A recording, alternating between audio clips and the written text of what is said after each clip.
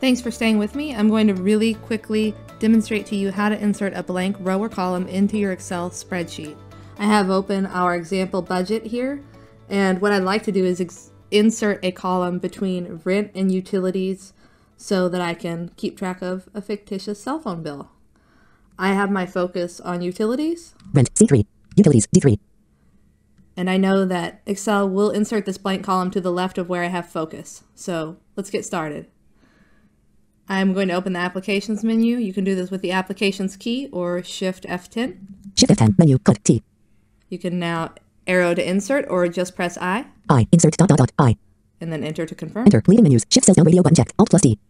I've opened up the dialog box and this dialog box contains radio buttons and I can navigate them with the arrow keys. Shift cells right radio button checked, alt plus, shift cells down radio button checked, alt plus D.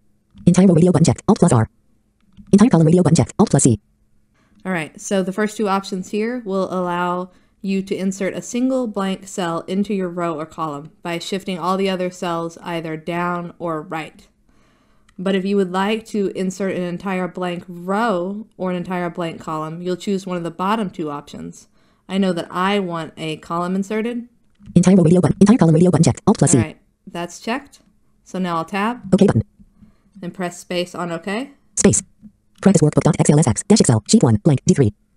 Focus is in D3, which is now blank. I now have a space between rent C3 blank D3 utilities E3 rent and utilities so that blank, I D3. can add another column of expenses to track.